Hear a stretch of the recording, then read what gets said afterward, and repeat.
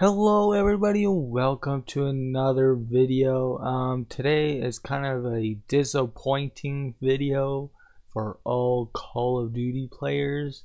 Um, so let's just jump right in this video and we can get straight to the point. So if you go to your challenges, go into your weekly in week 7, you're not getting an aftermarket part. You are getting a blueprint for an LMG, which is shit. I mean, how many times do people have to say MW3 is crap at promising people things? So, in this video, I'm not going over the challenges. You can you can pause the video um, and read the challenges or you can read the challenges on your own time. This is just a disappointing to Call of Duty players that we don't get the dual wielding shotguns until next week. Um, it's kind of a letdown. I don't like that. I mean or season 6 might have more better stuff but no guarantees.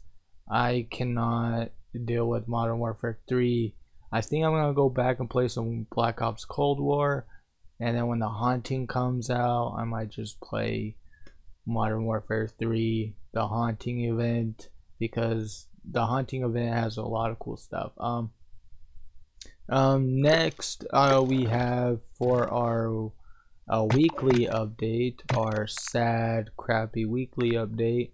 Uh, we did get two cool looking bundles. Um, let's see this one this one looks pretty cool.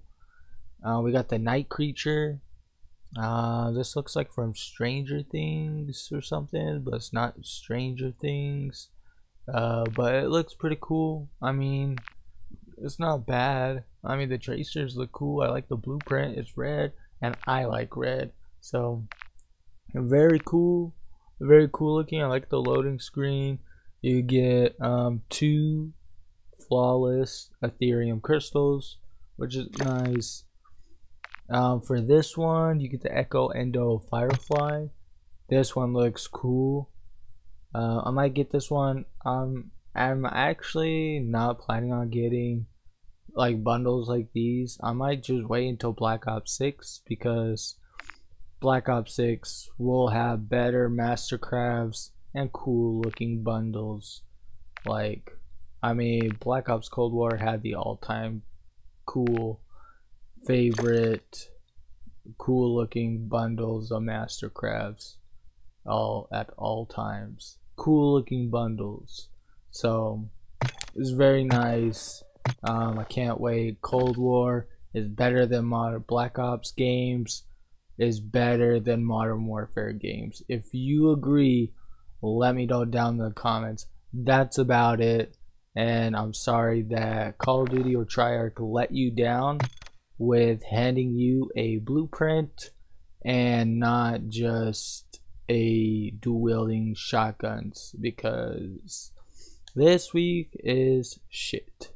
Um, I hope now uh, future seasons in Black Ops 6 will be much more way, way better. So I kind of stuttered at the end there. Sorry, guys. You guys can click off this video since it's the end. Like I said, peace out, everybody.